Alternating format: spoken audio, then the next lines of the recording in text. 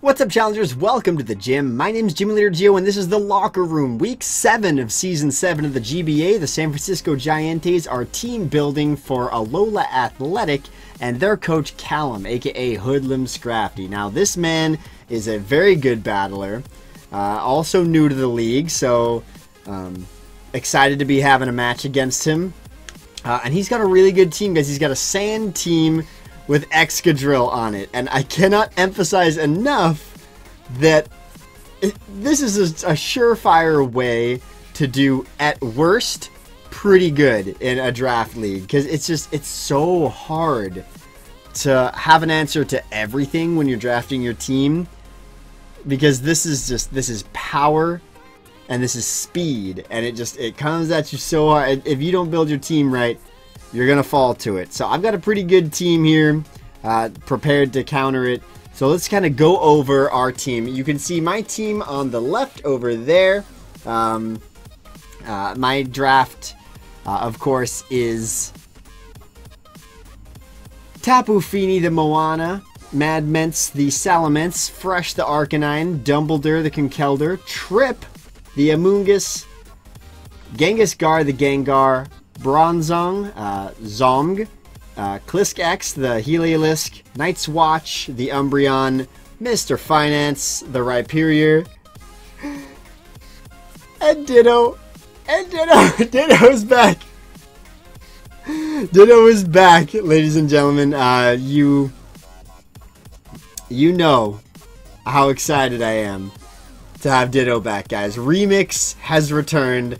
I have played with Remix on my roster every single season of the GBA, and I'm just used to having it. And I it got picked up in an earlier round than I had anticipated it would, and I'm just so happy to have it back. I had to drop Gyarados uh, to free agency for the Decidueye after working out a deal with Chimpact to trade uh, Decidueye for Ditto, and I am I, I honestly I cannot be happier about this trade. I'm so excited to have it. I know it's like you know halfway through the season or something before I got it, but I'm really excited to have it back. I love Ditto. I love the the mind games that go into it. I love team building with it. But enough talk about that. Let's look uh, above us here at the Alola Athletic Draft. They have Excadrill, Tyranitar, who is his Z move user, the Rotom, the Shaymin, the Crobat, Aromatisse, Druddigon, Emboar, Espeon, Sableye, and Snorlax. Oh, I had a little bit of a stroke there, but I made it through. Okay, so uh, let's go over the six mon I'm bringing this week. I'm bringing Dumbledore, Zong, Trip, Mad Remix, and Klisk X this week. Um, let's kind of talk about the whys here. First of all, he's brought he's brought the three mon that I have. I've tiered this, if you look above me, somewhat in order of likelihood that I think I'll that he'll bring them. It's not necessarily based on their threat level per se. It's versus me, do I think he'll bring it? And he's brought um, Excadrill and Tyranitar combined. There's always been one of them in every single match that he's ever played. And I just. It's hard for me to deal with the Excadrill. And so I'm prepping pretty highly for it. Uh, I, I honestly am. Looking at the other members of his team, uh, the Tyranitar is a Z-move user. It's the sand setup for the Excadrill. The sand setup does pretty well against me. Um, it's an important it's an important part of his Excadrill being the threat that it is against my team. The Rotom, uh, it's a pretty safe switch into Tapu Fini. It's a great way for him to gain momentum. And uh, if you look at the tier below, you'll see that I'm pretty sure he's bringing Shaymin, and I'm also pretty sure he's bringing Crobat. Crobat and uh, Rotom form a pretty strong Volt Turn core. Uh, kind of can be bulky, can be fast. Crobat has a lot going for it.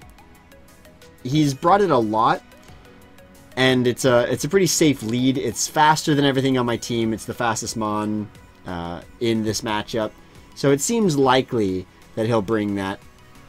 Uh, the Shaymin, because I don't, I don't really have a great Shaymin switch in. You know, uh, he can seed flare pretty safely, and if he gets the drop, uh, he can take on. I mean, honestly, you can. Uh, Shaymin's a, a really weird mon. You kind of rely a little bit on hacks. Its stats are pretty good, but not great. Uh, there's some loss in immediate power, but there's also some pretty good uh, defensive sets it can run. So I, I, just think Shaymin's a threat. He's brought it a lot. He knows how to use it. Uh, and then looking at the next two tiers, honestly, it can kind of go any way. I think he brings Aromatisse because uh, he's Salamence does kind of threaten his team. With my speed tier is good. Outside of Sand, I can outspeed that Excadrill. Um, and it's the only thing he has to kind of save him against against Draco Meteors because honestly, while there he does have another Steel Mon, doesn't really want to take a Dragon type attack, especially if he's fearing that I'm say Dragon Dance. I get set up, uh, and then I, you know I can I can take him out because I have an Earthquake potentially uh, as a move pool option for Mad Ments also. So I I think that's a likelihood that comes. Druddigon's a pretty good switch into several of my physical threats. Uh, it can set up stealth rocks, it can phase, and the rough skin rocky helmet damage can do massive damage to any physical attackers. Uh, could be a really good switch into the fresh if he thought I brought it. So I think there's a good likelihood he does that. So he has a little uh, rock setup. Emboar and then uh, Espeon and even Snorlax to a degree. They're all just kind of they don't like sweep my 11 Mon. They do a lot of damage, potentially. Uh, Emboar, in particular, has very high attack and a really great move pool. I, I guess with Emboar, I have the potential to build pretty well for it, but I, I don't think he'll bring it. Uh, it's it's slow. It's not that bulky. Uh, you can play uh, Big Pig. I think is the is the setup for a really defensive one that has Will-O-Wisp. But I got the Tapu Fini. Tapu Fini can be a pretty good switch into it. Uh, the Rhyperior can be a great switch into it. It does have a great move pool, but it is limited. It does need to utilize that intelligently to figure out what it can beat. But a lot of my mon outspeed it and just kind of kill it outright. Because um, it's not... It does have a lot of HP, but it's not truly bulky, especially not on the special side of things. Uh, Espeon, I mean, Bronzong can kind of take it on, but it, it, it can have Shadow Ball. I have things for it. There's something I could want, but but ultimately I've prepared for the things above it a little bit more. Sableye is just weird. Sometimes it can it can chip away at things. It can try and live. It's not bulky enough to wall a lot of my threats, but it can be frustrating to deal with. Uh, so he could bring that, but I don't think he will. I think he'll go a more calculated route. Snorlax is... Um, the best way to explain Snorlax in, in League format, as far as I'm concerned, is it can take a hit, it can give a hit. And having a Mon that can do that pretty much as a guarantee is really valuable. But I don't think Callum is going to play that way against me. Um, I do have some pretty defensive options out there. And if he wants to just trade a little damage here and there, that's not something that's going to necessarily benefit him too much, especially if he's just trying to drop body slams that could potentially take a guts boost or, or something like that. He could be fearful of that. Uh, but let's look at the, the six that I brought specifically. Clisk X, I'm bringing his Choice Specs, Thunderbolt, Volt Switch, Hyper Voice, and Surf. Part of the reason I feel so safe bringing Heliolisk this week and with this set is he only has one um, immunity to Volt Switch. And it's Excadrill, and I have developed my team in a way to not be fearful of Excadrill because Excadrill is a threat, guys. I cannot stress this enough. It is a threat. And so I brought a uh, defensive Leftovers Intimidate, Draco Meteor, Defog, Wish, Protect, Salamence this week. Um, opting for the Draco just for a little immediate power, a little hit and run power and to catch a few things off guard. At one point, this was a specs set, but I opted against it because I think this uh, is probably the single best answer I have to the Excadrill. Um, so the reason I'm showing you Clisk X first is because his role is very important in this game. He's fast. He's one of my fastest Mon um, that I have on the roster this week, and it's great chip damage against many members of his team. With the Thunderbolt, Volt Switch, Hyper Voice, Surf combination, he has something for almost everyone on the roster. Surf will hit super effective against the uh, Tyranitar or the Excadrill. Uh, the Thunderbolt and Volt Switch are both neutral against the uh, the Rotom, and so will allow me to gain some momentum if that's a potential switch and he thought he had. Uh, I have Hyper Voice, which will two hit KO the Shaymin, uh, which who I will outspeed. Uh, the Volt Switch will uh, hit super effective and almost the uh, Crobat. I'm having a hard time drawing the names out, guys. And it's just really safe against a lot of the other Mons here. So I put just enough into speed to outspeed his Shaymin and then just kind of toss the rest into HP for a little added bulk there. Uh, as I showed you guys the Mensa already, it's a defensive set. It's going to be my primary switch into a lot of his physical threats. It's very safe switch into the Snorlax. It's a very safe switch into the Druddigon, even though it uh, does have the potential to run a pretty high power Dragon Stab. Uh, I'm not too concerned about it. Uh, the Emboar, it's a pretty good switch into Emboar. Emboar's hard. I, I guess I just kind of hope he doesn't bring Emboar. He can have the the head smash there, though I, I don't think he would bring head smash. Uh, I'm, I'm predicting more of a, like a flare blitz, maybe hammer arm. Could have stone edge. Uh, there's a lot sucker punch. There's so many things. There's so many things the Emboar can do. I, I, but it's this is a really good switch into Emboar too, resisting his um, his stab flare blitzes there. Um, Crobat, great switch into Crobat. Uh, get that intimidate off. But unfortunately, I probably wouldn't switch it into Crobat most of the time because it would just net him a whole lot of momentum when he likely just clicks that U-turn on me. Shaymin, uh, it resists Shaymin's stab, uh, but but there's always the potential for hidden power ice there. On any special attacker, you always got to be at least somewhat concerned of the hidden power potential there. Uh, but but yeah, pretty good against a good number of his team, and one of my primary, it's got reliable recovery. It can wish past a lot of the other Mons this week. What I'm going for this week, guys, is safety in switches. His team is very well built. It's like incredibly well built if you look at the type matchups the strengths weaknesses balance incredibly well built. What he does differently than a lot of the other teams I've faced in the league thus far, a lot of the other teams in the league thus far are just high tier mon, high tier mon, high tier mon. They're just power, power, power. And whether or not they mesh is kind of irrelevant if all you have is power. It's sort of why I don't really like free draft format. Um, because I like the idea of balance. I like the in, the intellect that goes into finding something, finding value in something to your team. Um, and I think I see a lot of that in him. He's taken some lower tier Mons and really pieced them together to make a really cohesive team. Uh, but it's actually easier for me to build against uh, this week. It, I, I, feel that way at least pretty strongly. So what I've my game plan this week with the help of Trip's Reliable Recovery and Mad Mensa's Wish and Reliable Recovery, I want to build a pretty strong defensive core. Throwing in uh, the Bronzong there too, I've got three really strong defensive Mon that can take on his biggest threats on his team.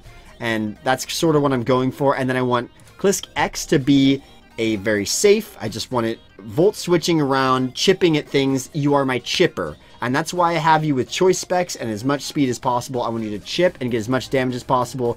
My win conditions this week are Dumbledore and Remix. Uh, Remix is running a pretty standard choice scarf set.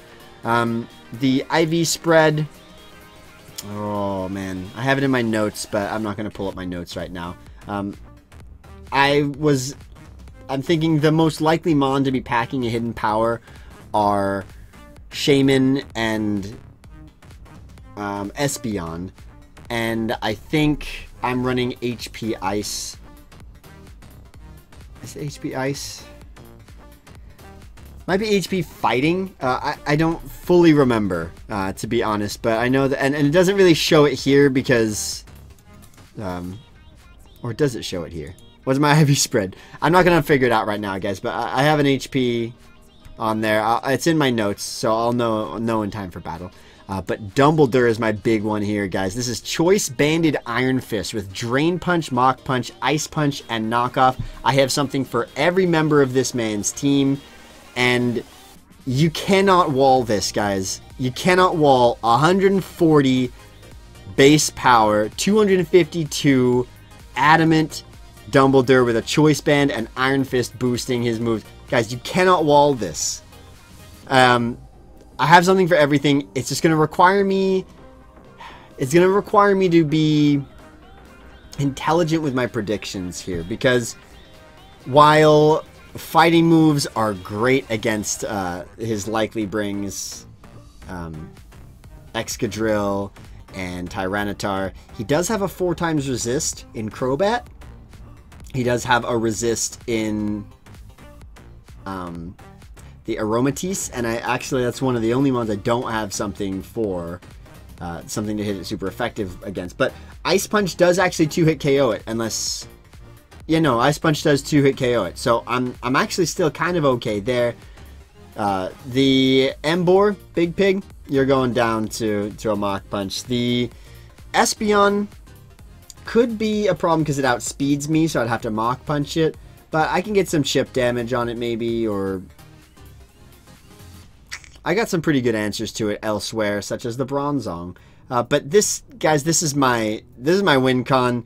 It does great against the Tyranitar. Tyranitar has nothing for me, um, and it's I need the I need the priority that it that it packs, and I need the power that it packs. And this is going to be my big win con this week. I've got the Macho Brace Bronzong. Bronzong's gonna it's usually pretty passive, so it baits a lot of switches that, to things that can take advantage of it. But Gyro Ball Earthquake is really good against his team in combination.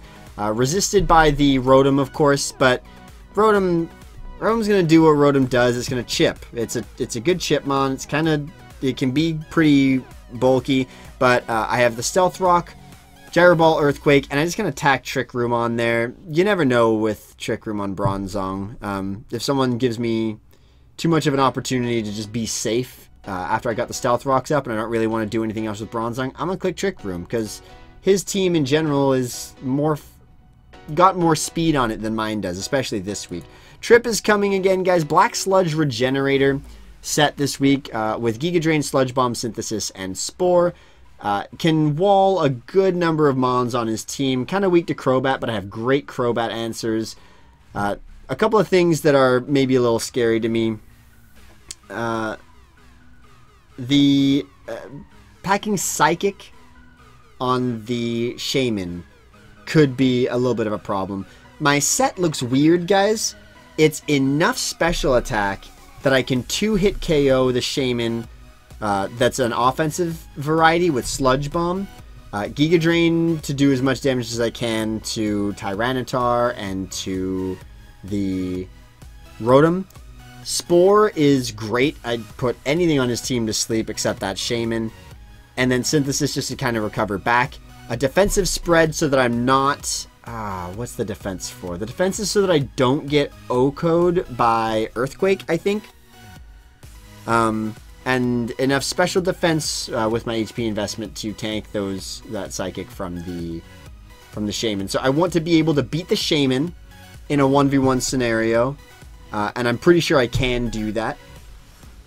And I want to be able to survive at least something to give me kind of a pivot um, ability against the Tyranitar and the Excadrill. So that's sort of what Trip's there for. Remix, guys, you know, remix, standard set. So that's my team this week. Uh, what do you guys think of the team? Would you have brought something different? Do you like what I brought? Do you think I'm missing something? Uh, let me know, and uh, I will see you guys at the battle tomorrow. Uh, big shout out and thank you to Mr. Burke this week because he has genned my team uh, for my battle, and uh, just gotta thank that guy. He's so dependable for the GBA. Um, he's great analyst, and he really helps uh, a lot of us out with genning. So thank you, thank you, Burke, and looking forward to seeing you on the battlefield tomorrow, Mr. Callum. As always, my name's Gym Leader Geo. You guys are the challengers. Thanks for stopping by, and I'll see you guys next time.